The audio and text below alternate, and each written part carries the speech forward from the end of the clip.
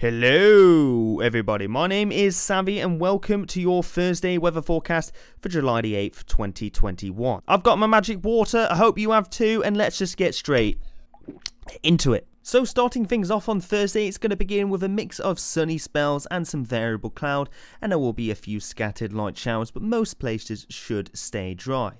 It's been quite warm overnight with temperatures already in double digit. And throughout the rest of the day, we're going to see some scattered showers develop across England and Wales with a few heavy and thundery showers in central and southern parts of England. But that being said though, some places will miss the showers and have a mainly dry day. Scotland, Northern Ireland and Northern England will stay dry with some sunny spells, although Western Scotland and Northern Ireland will turn cloudier later on. Temperatures will range anywhere from around 15 to 23 degrees.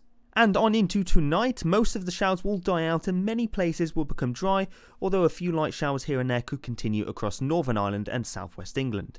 And temperatures will be on the mild side, with the southeast looking very warm.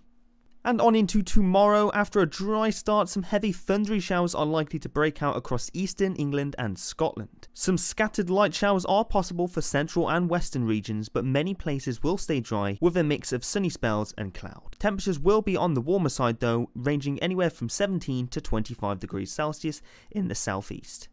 So the outlook then on Saturday, cloud and showery rain is going to spread across the south on Friday night before clearing on Saturday morning with some sunny spells and heavy thundery showers breaking out across central and northern regions and it is going to feel a bit cooler. Sunday, more heavy and thundery showers are likely in the north, while southern regions should be on the drier side. Although South Wales and South West England might have more in the way of outbreaks of light rain.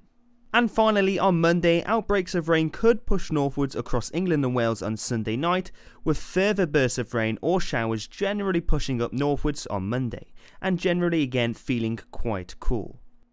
And once again, UV levels are going to be high throughout the country, lots of 6s and 7s cropping up, so if you are outside, make sure you are wearing protection so you don't burn to a crisp.